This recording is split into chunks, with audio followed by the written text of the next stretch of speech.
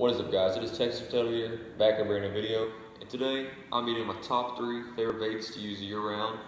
Now, any now these baits will work any time of year. You throw them out, go catch some. But, yeah, yeah, so let's get to the video.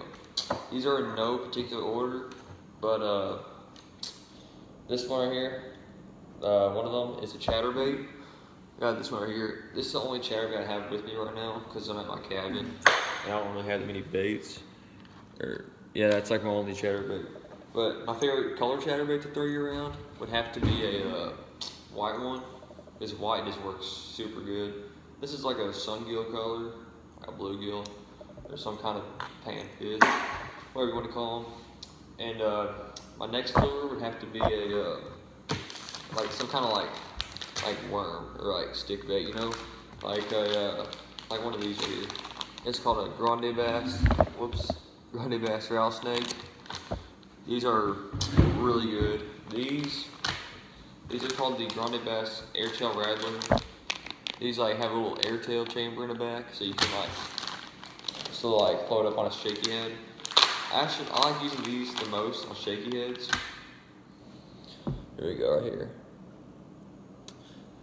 Um, and also Senko, it's like a stick bait. Those also work really good. Got some right here. Uh, yeah, I just, I usually just put those like, I just Texas rig them, or like a, uh, like a shaky head or something like that. That usually works good.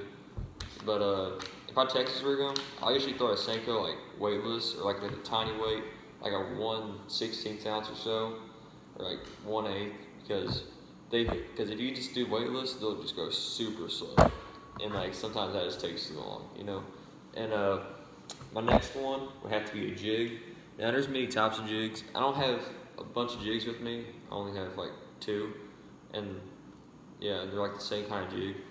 So I really can't show like different types because all they are are these are called U jigs by Finch Nasty. They're like universal ones.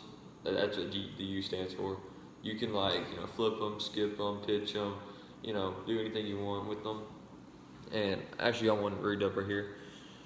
Uh, or yeah, you can, or you swim like a swim jig. The trailer came off of it, but that's what they look like right there. And then I got another one right right here. Um, I guess one of my friends did something with the skirt there.